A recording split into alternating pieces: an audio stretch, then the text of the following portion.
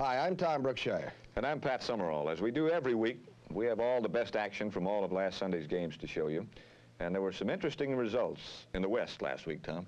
Well, I don't think it was an upset. I thought the Rams were about the most solid team when I saw them on opening day, and they beat San Francisco 40 to 20. I can't believe that any team could score 40 points against that San Francisco defense. That's supposed to be their strong point. I haven't seen the Rams yet. Are they that good? Well, and Hadl doesn't have to throw 26 times a game. He's throwing about 10 or 12, and they're, you know, good play pass action passes. He's super right and now. the two backs, McCutcheon and Bertelsen, both have been playing very well. And their offensive line is maybe their real strength, yeah. They're a good team. Did it surprise you that Atlanta lost to Detroit as badly as they did? Boy, I just thought Atlanta looked demoralized, and that is not a Van Brocklin trademark. It looked to me like they lost their cool and their poise. They've got a lot of good personnel. They can't continue to lose like that, I don't think. In the AFC, uh, Denver 14, the Chicago Bears 33. I thought Denver might play the Bears tougher than that. Well, I was surprised the Bears uh, really got on the scoreboard that much. Uh, I knew they were going to fight and beat you up a little bit, but I didn't think the Bears had that much offense. They might surprise a lot of people before it's over with. And Kansas City seems to be back after we buried them a few times. Oakland cannot score a touchdown. I think they've had one touchdown, and that was a punt return this year. Uh, the Raiders are down, but the Kansas City Chiefs are certainly back, right? What about our featured performers of the week, Tom? In the NFC West, our featured performer of the week, number 21, John Hadl. Now the Los Angeles Rams, Pat. He's really having some kind of year. This is from last year when he was still a Charger, but this year he's 28 out of 36 with no interceptions. Main thing is that John has really filled in with a great rushing game that Chuck Knox has, and he doesn't have to throw it as often. He can be more careful. Joe Namath has called him the best passer in the league. Johnny Hadl. In the AFC West, some old friends of John Hadl's, our featured performers of the week, the Kansas City Chiefs defense. And I don't believe they're too old, Pat. A lot of people had said they might be, but against the Raiders last week, they held them to 77 yards on the ground, 72 yards in the air. This is last year's footage when everybody knew they were tough. I think Curly Culp getting back in that lineup uh, makes a difference. He and Buck Buchanan inside are still two tough tackles. And when you back them up with those three linebackers they've got, Willie Lanier in the middle, Bobby Bell, and Jim Lynch on the outside, there's not a better trio in football. They held the Oakland Raiders to no touchdowns. I don't think anybody would have ever realized that. This footage, of course, from last year. It's not whether you're too old, it's whether you're aggressive enough. It looks like the Chiefs are certainly aggressive again.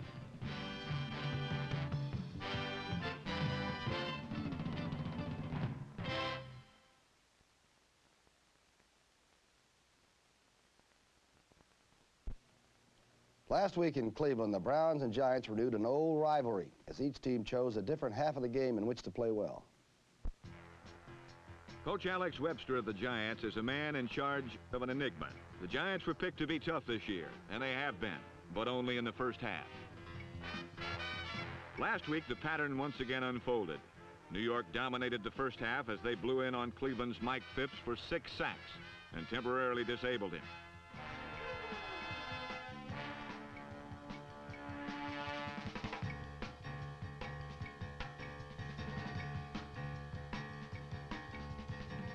The Giants continued to neutralize the Browns' scoring threat as number 43, Spider Lockhart, came up with an acrobatic theft.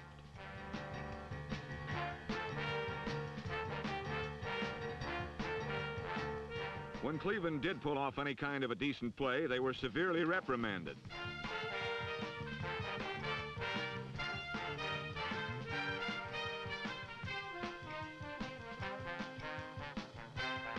Cuff on the head left them more than a little groggy and disorganized.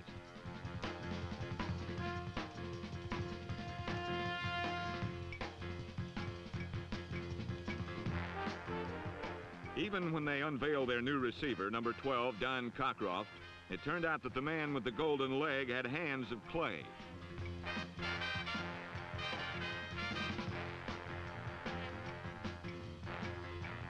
So, bolstered by a Norm Snead to Bob Tucker 20-yard touchdown strike, the Giants led at the half 10-0.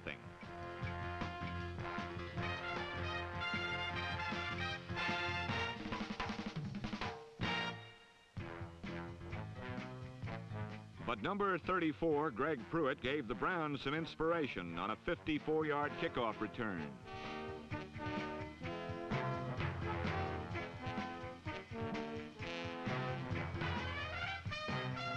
Four times Don Cockroft connected to give the Browns a 12 to 10 lead.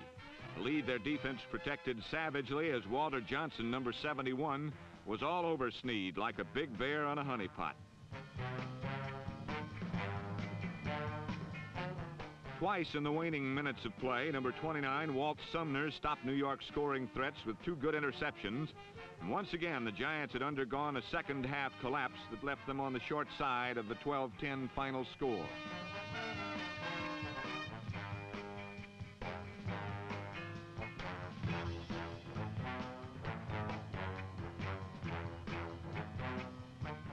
Cleveland, it was joy unbounded. They had brought their record to 2 and 1, and it was an important win for a team that needed and got some confidence rebuilding after the shellacking they had suffered at the hands of the Pittsburgh Steelers two weeks ago.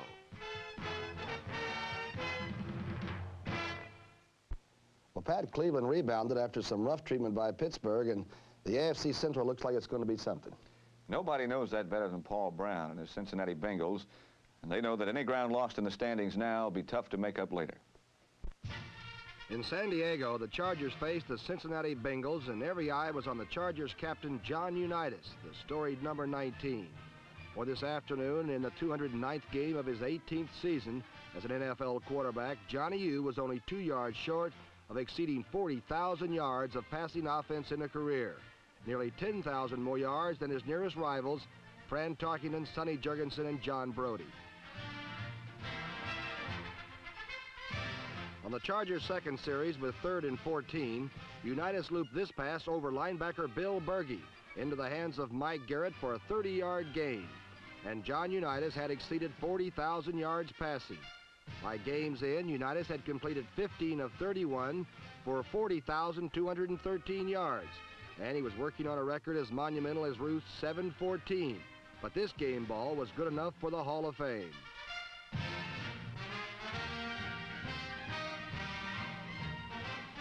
For the remainder of the afternoon, the famous quarterback was not treated so reverently by the Cincinnati Bengals.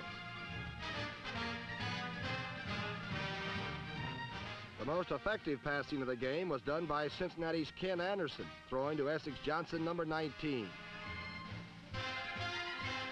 This 78-yard catch and carry by Johnson gave the Bengals a 7-3 first quarter advantage. In fact, the cat-footed Johnson either set up or scored all of Cincinnati's points. This 20-yard gain early in the second quarter preceded a one-yard score by Boobie Clark, but a missed extra point left the score at 13-3 in favor of Cincinnati.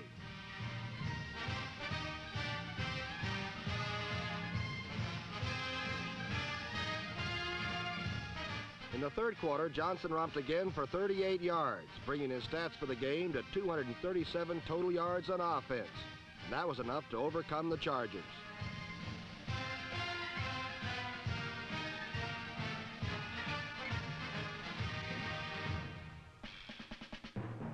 But late in the game, John Unitas waved his magic arm and showed that some of the old comeback greatness still remained.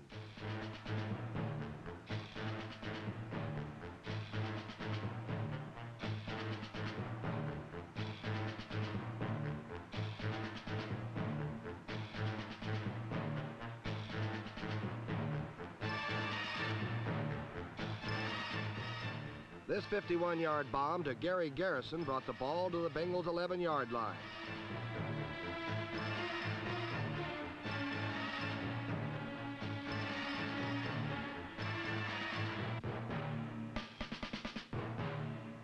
Three plays later, Unitas speared Bob Thomas in the end zone, giving San Diego a head of steam with a score 20 to 13 and eight and a half minutes left to play. But the Bengals' Boobie Clark and Essex Johnson devoured the clock, leaving only 47 seconds for John Unitas to work his magic.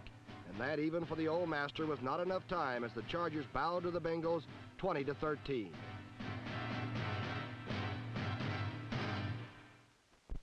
While the Pittsburgh Steelers have come into their own as a true power in the National Football League, the Houston Oilers have not.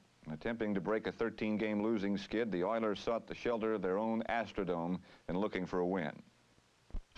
When he has pass protection, Dan Pastorini ranks behind no other quarterback in the league in pure passing ability. But unfortunately for the Houston Oilers, pass protection isn't one of their strong points, especially against Joe Greene and the Pittsburgh Steelers. However, the Oilers gave the rugged Steel gang all they wanted in last Sunday's first half.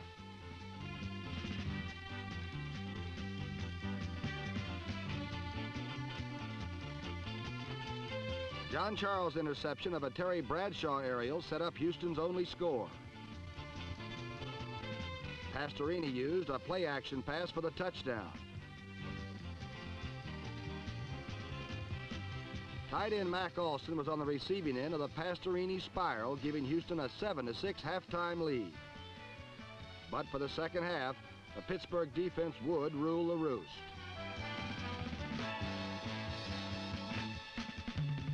Houston's hope of a second half ground attack faded as the steel door snapped shut.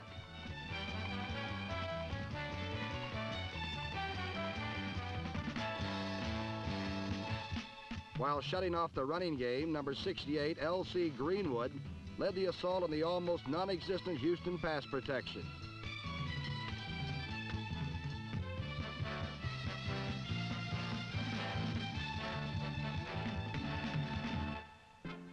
Shaken by the heavy rush, Pastorini misfired.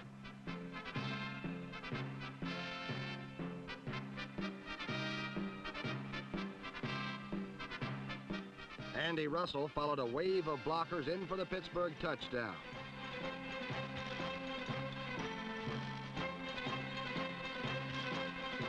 The steel curtain descended again, this time on Oilers' second-team quarterback, Lynn Dickey.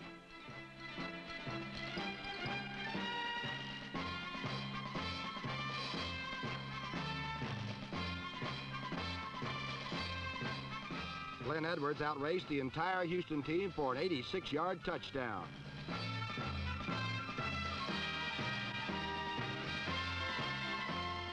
While the Pittsburgh defense proved too tough to handle, Terry Bradshaw was chipping away at the Oilers secondary.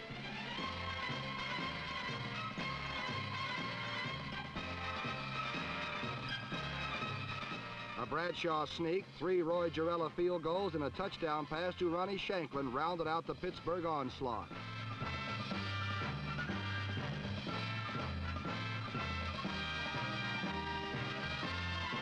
Pittsburgh is now 3-0, while the unfortunate Oilers have dropped to 0-3.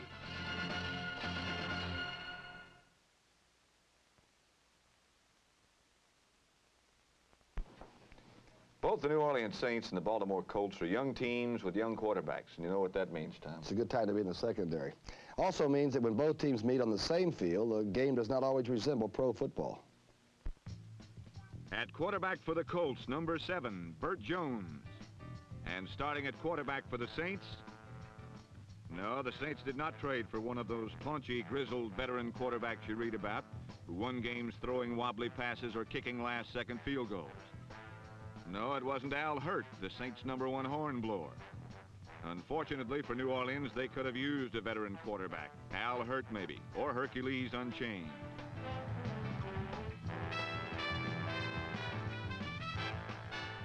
Facing the Baltimore Colts, New Orleans saw their secondary shredded by Jones, the good old boy from Ruston, Louisiana.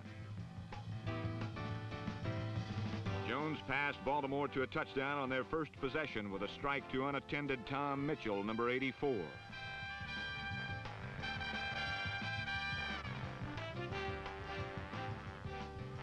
Then Jones stayed on the ground using the explosive burst of Don McCauley, number 23, who gained over 100 yards, and former Penn State great Lydell Mitchell, who gained 133.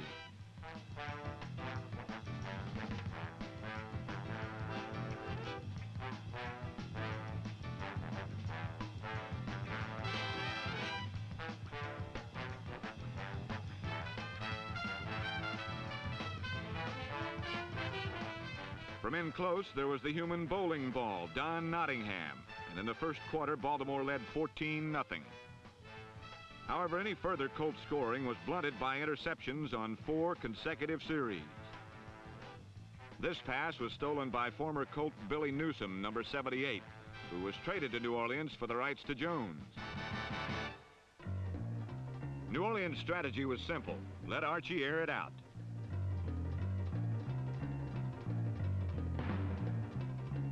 Although this pass was ruled out of bounds, Archie was just warming up against the once impregnable Baltimore zone defense.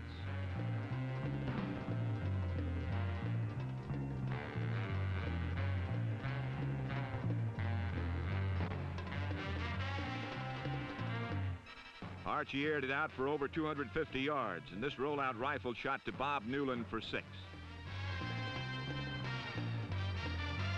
But time ran out for Archie and the Saints, and they fell to the Colts 14-10. There's nothing better than opening a brand new multi-million dollar stadium with a victory. And that's what the Buffalo Bills had in mind when they opened Rich Stadium last week against the Joe Namathless Jets. Dwarfed by the dizzying proportions of the Buffalo Bills' new ball yard, the fans came to Rich Stadium for the very first time in the regular season to see their toughened up Bills tangle with Al Woodall and the New York Jets.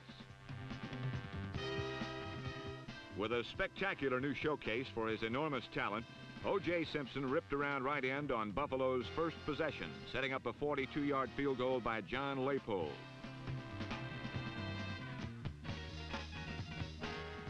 But that was the only score for more than three quarters as both teams showed an inability to get into the end zone.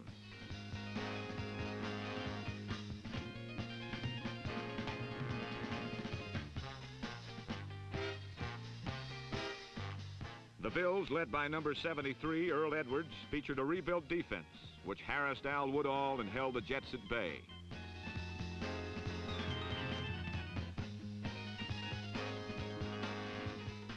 Meanwhile, Buffalo is chewing up more than 200 yards rushing, churning up and down the field, led by O.J. Simpson, flashing the great Jimmy Brown's number 32, and looking for all the pro football world on this afternoon like the immortal Brown's equal.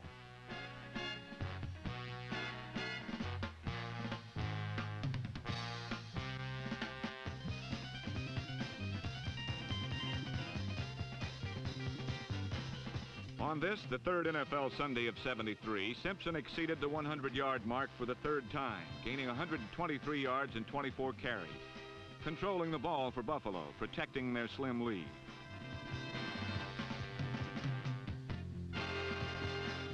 The Bills' offensive line is improved, and they may make good their promise of 1,700 yards for O.J. Simpson this season.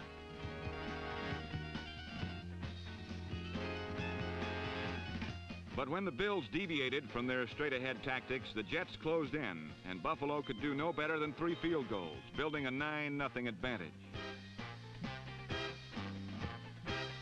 But nine points was good enough as the defense shut out New York until late in the last quarter when Al Woodall, subbing for the injured Joe Namath, hit Jerome Barkum on a play that many Jet fans would have rather done without, as Woodall had to be helped from the field after a 9-7 defeat by the Buffalo Bills. And so the Bills are now in first place in the AFC East. And I can assure you, Pat, I never thought I'd be able to say that. At least not this season, huh? They are in first place, Tom, but they are tied for that spot with a team that they and most everybody else has had trouble with the last few years, the world champion Miami Dolphins. The Dolphins were ready to rebound after their loss in Oakland, but the New England Patriots had some surprises ready for Miami, like 5 foot 5 inch Mack Herron, number 42.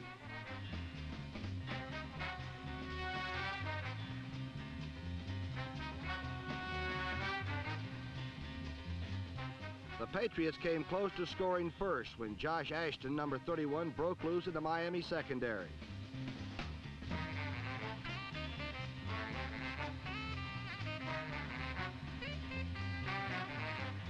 From the four-yard line, vaulting specialist Sam Bam Cunningham let the Dolphins off the hook.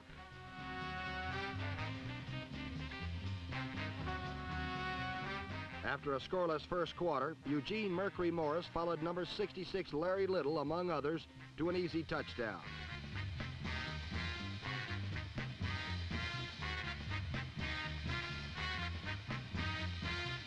Less than two minutes later, Mighty Mercury took the game into his own hands.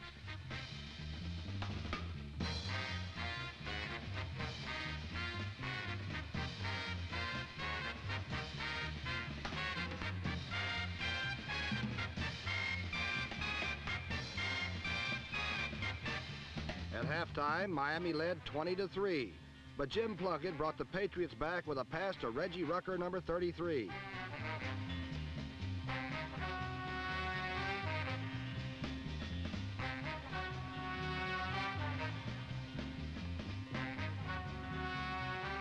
While the New England offense definitely has a new look this season, occasionally it looks a little like last year or the year before.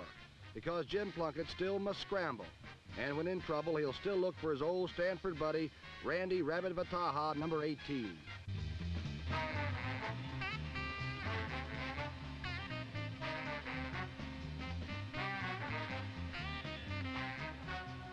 Midway in the third period, John Tarver, number 36, cut over tackle and into the Miami end zone. And while this is indeed a rare sight for Miami watchers, imagine their surprise when moments later, following a Bob Griese fumble, Tarver again cut into the end zone, this time bringing New England within a touchdown after three quarters.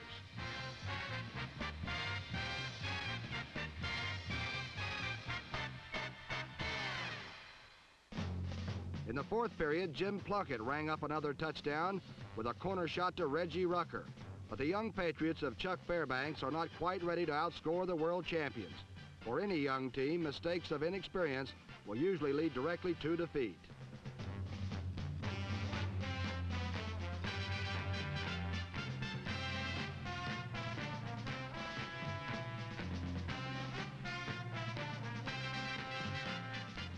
Dolphins scored three times in the fourth quarter, once on Nick Buoniconti's fumble return, once on a perfect Bob Griese post pattern to Paul Warfield, and once on another swing down the lane by the 73 Model Mercury on the way to a Miami record of 197 yards rushing. And finally, a convincing victory for the Miami Dolphins.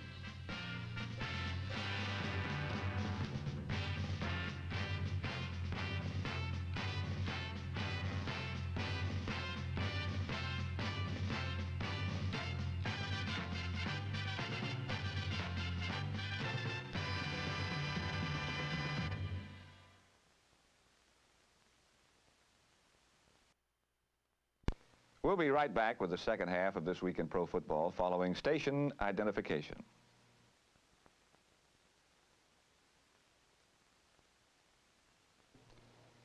The Chicago Bears were the guests of the Denver Broncos last weekend, Pat, and the mile-high altitude seemed to make both teams even meaner.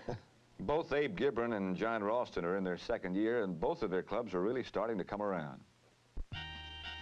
After suffering hard-fought defeats at the hands of top contenders Dallas and Minnesota, Abe Gibron brought his Bears to Denver with an obvious hunger for victory. With Floyd Little responsible for three Denver turnovers leading to a touchdown and two field goals, the Bears had themselves quite a feast. Only when the shadows in Mile High Stadium were too long to make any difference did Denver score. Once on a one-yard plunge by Bobby Anderson, and on this 36-yard screen pass to former Purdue All-American number 24 Otis Armstrong.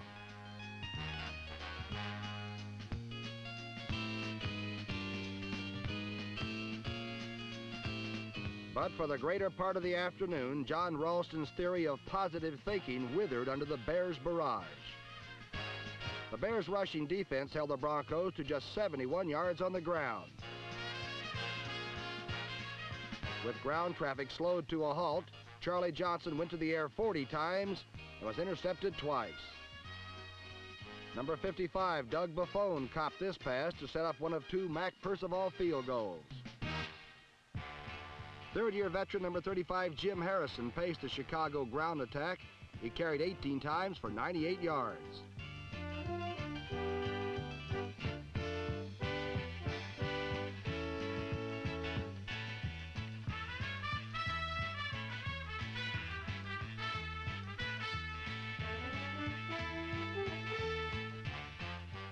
Bobby Douglas, throwing a surprising 21 times, found Harrison with a step on Bronco safety number 36, Billy Thompson. An easy six points resulted.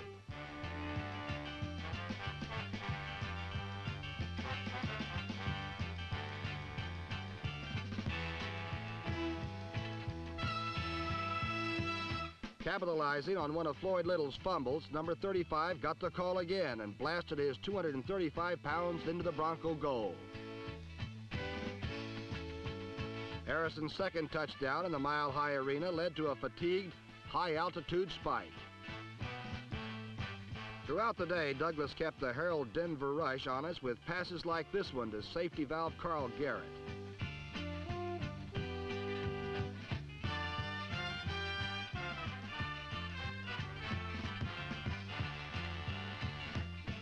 Douglas put another six points on the board with a strike to tight end number 82, Earl Thomas, who coasted in for six points and a long-sought 33-14 victory over the Denver Broncos.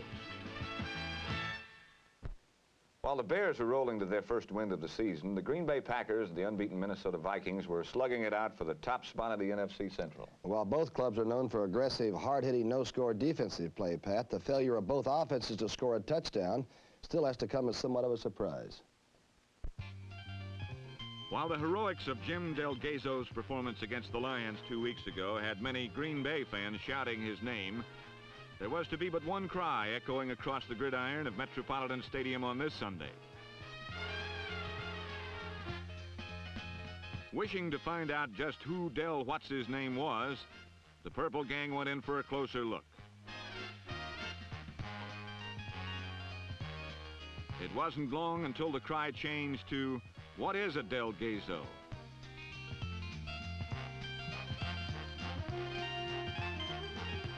The usually consistent Packer ground attack followed Del Gaizo's example and fell before the purple people eaters.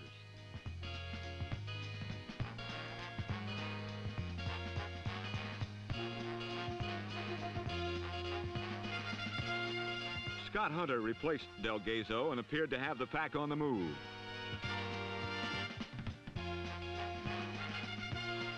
However, an interception by Minnesota's Bob Bryant on the next play killed the drive.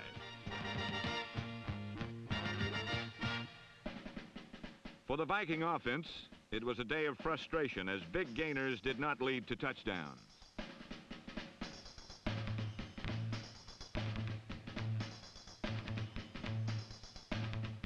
Ed Marinaro's 27-yard sweep set up a second quarter field goal and brought Marinaro's Mafia to their feet. Fran Tarkenton split the seams of the Packers secondary using his other running back, the versatile rookie from Miami, Chuck Foreman.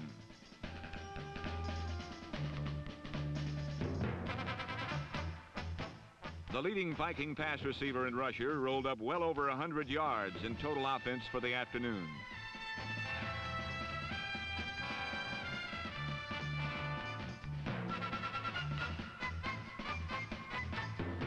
For the second week in a row, the scoring punch was provided on three Fred Cox field goals. The defense added a safety for an 11-3 Minnesota win, proving a wise Viking saying.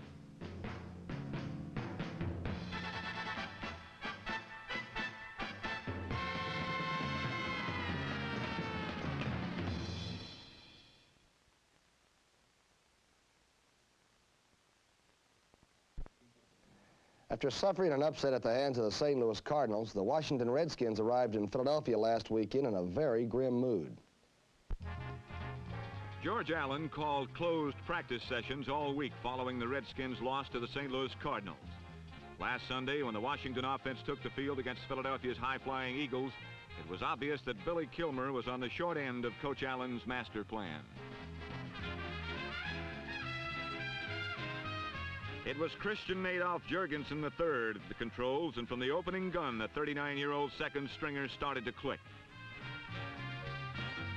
Charlie Taylor was supposed to run a square out, but with no one covering deep, he turned upfield and gathered in Jurgensen's pass for first blood.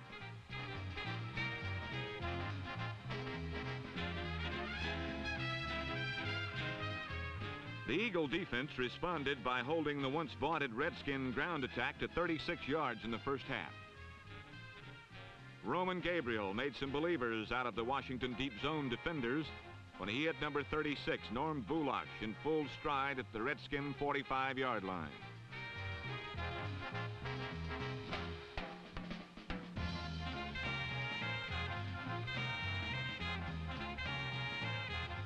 The 80-yard scoring play made for some roughhouse celebration and what looked to be another slugfest in the NFC East. But an aroused Redskin defense at the start of the second half began to smother the Eagles' hope of victory.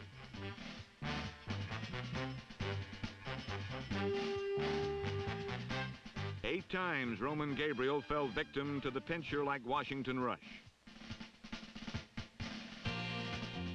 Unscathed, Sonny started the second half off with a quick strike to number 88, Alvin Reed, for a first down deep in Birdland. Hole number nine showed he still had his fastball when he split three Eagle defenders to find Charlie Taylor for six.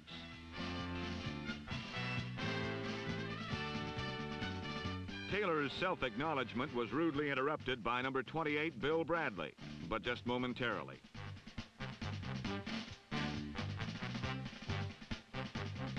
Protecting a seven-point lead, the Skins defense came up with some terrifying hits.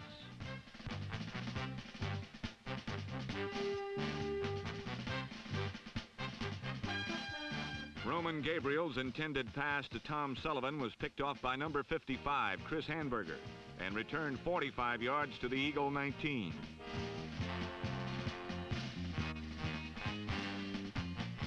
From there, it was a one-man show as Larry Brown carried six straight times before he scored from the one. With a three-game total of only 130 yards and 56 carries, the pounding of his fifth NFL season seems to be taking an early toll.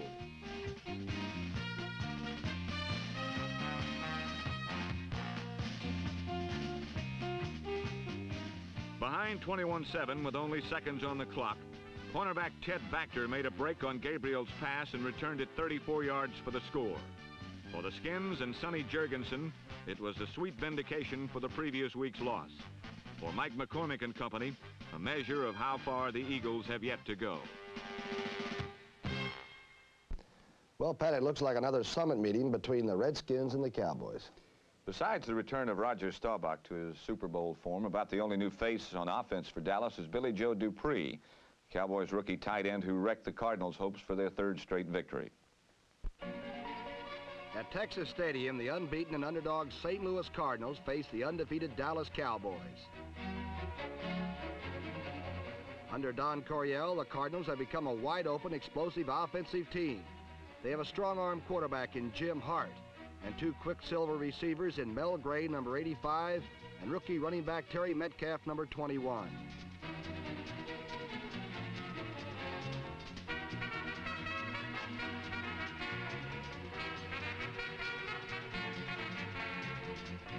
However, against the Doomsday defense, St. Louis scored but one touchdown. It came in the last quarter when number 27 Eddie Moss carried out a beautiful fake and Donny Anderson powered over for his seventh touchdown of the young season. For most of the day, Dallas completely disrupted the Big Red attack.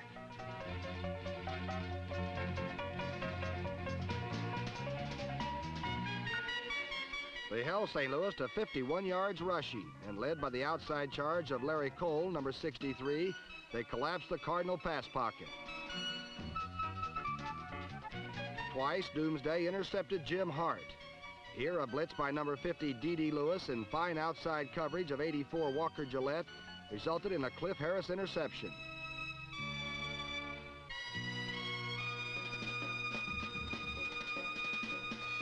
On offense, Roger Staubach was superb, and Bob Hayes was a blur in the Cardinal secondary.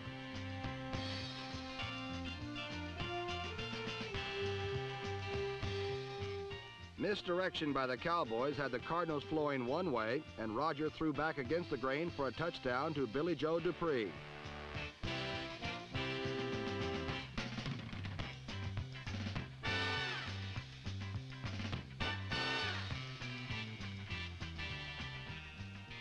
Second touchdown resulted from letter-perfect execution of the sweep by the offensive line and set back Calvin Hill. All day, Staubach lured the defense in, then deftly dumped the ball to chunky Robert Newhouse.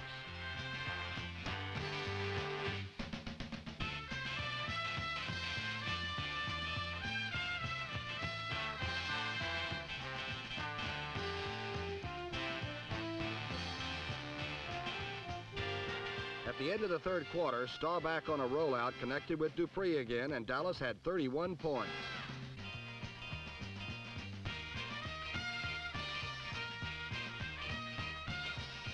When Staubach rested, the Dallas machine purred along smoothly as Craig Morton hit rookie Golden Richards dead in stride with a 53-yard touchdown.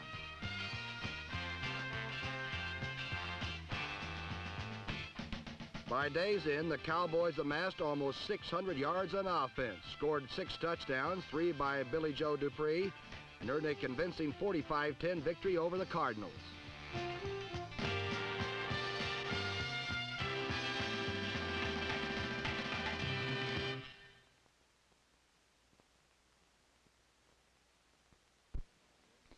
Last week in Kansas City, the Chiefs took on the Oakland Raiders in the 29th renewal of one of pro football's hottest rivalries. Going into last week's game, the series was absolutely even. 13 wins for Kansas City, 13 for Oakland, and two ties. Before last week's meeting with Oakland, most of the so-called experts had already buried the Kansas City Chiefs. They hadn't been able to stop the Rams in the opener. They hadn't been able to score more than one touchdown against the Patriots in week two. They were, as the experts said, too old, too ready to look for a place to lie down. And if any team could put them out of their misery quickly, it would be the arch-rival Raiders from Oakland.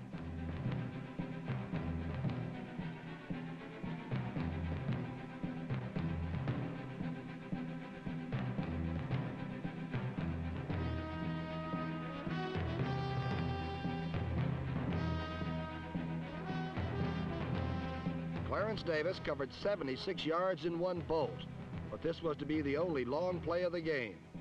The rest of the day belonged entirely to the men of the defense, particularly to the much maligned men of the Kansas City defense.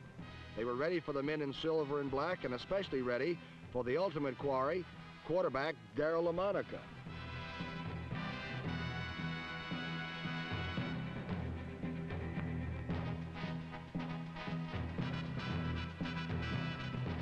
For the most part, Lamonica's strategy was to hand off to his runners like Marv Hubbard, number 44.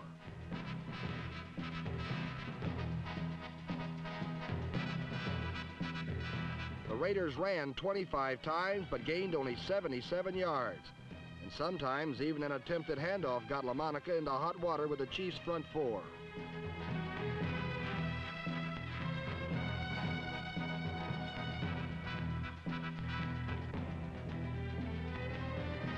Through three quarters of the game, Lamonica hung in and took his punishment from the inspired Kansas City rush line.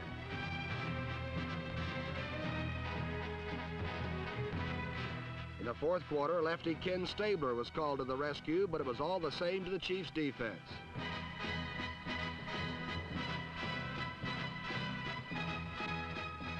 Len Dawson did not have things much easier on the Chiefs' side.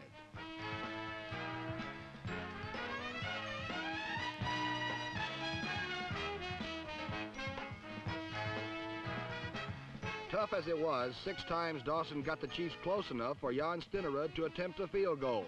Once he was short, twice he was blocked, but three of his kicks were converted into nine points for the Chiefs.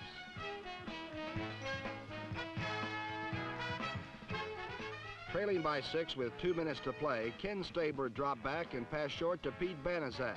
The ball was deflected and Willie Lanier gratefully returned the gift for the clinching score. Perhaps a fitting conclusion to a game in which neither team could put across an offensive touchdown. In fact, the Raiders offense has yet to score its first touchdown of the season. As Raider coach John Madden stated after the game, I've heard the Chiefs were on the way down, but that's not true. They're number one now. Hank Stram and the Chiefs will settle for that any day.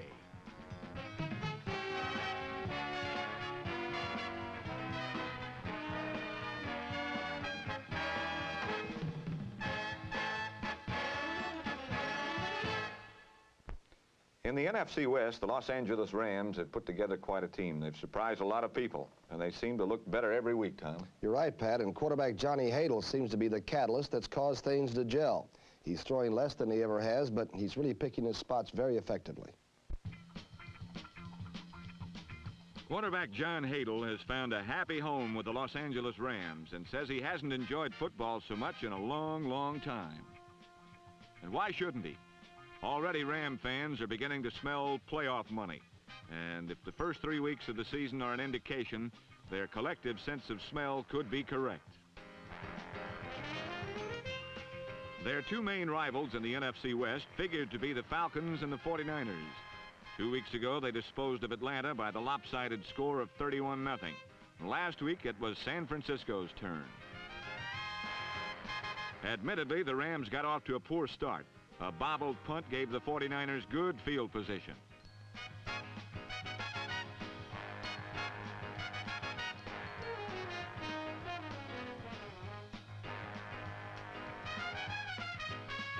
John Brodie to Gene Washington put them on the one from where Vic Washington made Gene's touchdown signal correct.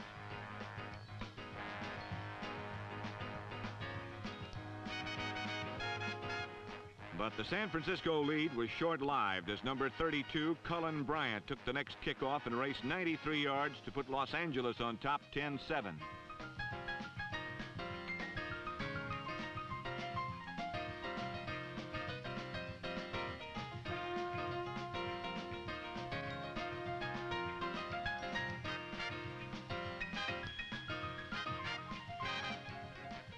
Brodie rallied his forces and using number 22, Vic Washington, as his main man, he drove for the tying field goal.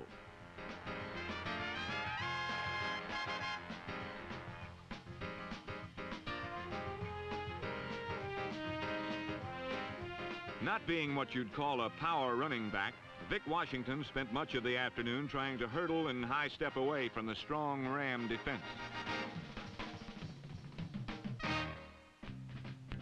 With the score tied at 10, John Hadl went into top gear. He mixed his plays carefully, hitting on 8 of 11 passes. At the 11-yard line, he handed off to number 30, Lawrence McCutcheon, who went right up the middle and almost took the goalpost with him.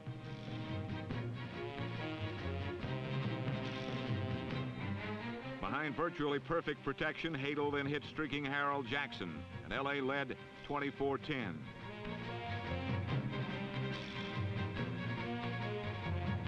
John Brodie was harassed most of the afternoon as Fred Dryer got a hand on this one.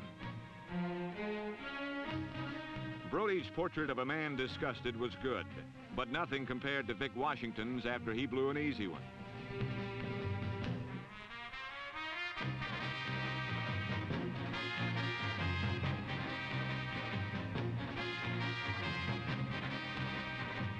And Vic's portrait of disgust was nothing compared to the 49er coach Dick Nolan's, who saw his team come up to the big one only to end up with a case of throat trouble.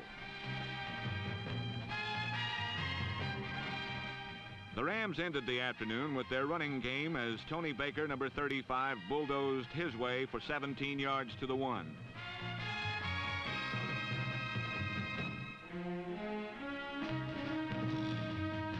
From there, the ex-Saint, ex-Eagle dove over and disappeared to make the score 40 to 13. Hoping to keep it respectable, the 49ers' Steve Spurrier hit Ted Kwalick late in the game to make the final Los Angeles 40, San Francisco 20.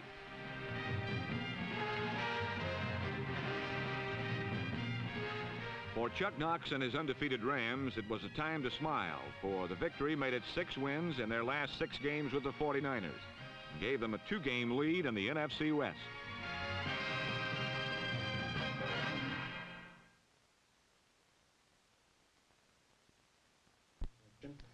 Well, what about our picks for the week, Pat? You really blitzed me last week. I was long overdue. I was five and two last week, and you were two and five. It makes me eight and six over you on the year. But you got plenty of chances to get even. Now, San Francisco at Atlanta, what do you think? Gosh, it's a hard one to pick. I think we picked them maybe uh, to win the division when we started out. I think you're right. I'm going to go with San Francisco. Well, they're certainly overdue. Uh, Atlanta looked uh, demoralized against Detroit uh, the other night up in Tiger Stadium. I got to agree with you. I, I, can't believe that San Francisco's personnel is going to allow this to continue to happen. How about Denver at Kansas City? That should be a real brawl. I think playing in Kansas City will hurt the Broncos, and it looks like Dawson is back to lead that offense. I'm going to go with the Kansas City Chiefs to beat Denver. Got to agree with you. I'll go with the Chiefs, too. Oakland at St. Louis. What do you think? Oh, the Raiders haven't scored much, but I think they're going to beat the St. Louis Cardinals. I don't know how many points it's going to take. They just really haven't been able to generate any offense, and that's sort of strange because their personnel is so good. You'd think that Super. they'd be able to put a lot of points on the board, wouldn't you? What are you going to do? I'm going to go with Oakland. Oakland. Okay, we're all together. All right, Tom. At any rate, we'll be back next week to show you what happens. I'm Pat Summerall. And I'm Tom Brookshier. We'll see you next week. This Week in Pro Football has been brought to you by Westclox. Promotional consideration provided by Best Western Motels. There are over 1,250 Best Western Motels located in more than 900 cities throughout the United States, Canada, and Mexico. And by American Airlines. If the sun is shining there, chances are American flies there. From the Caribbean to California to the South Pacific, American Airlines to the good life. Program materials for This Week in Pro Football travel via REA Air Express.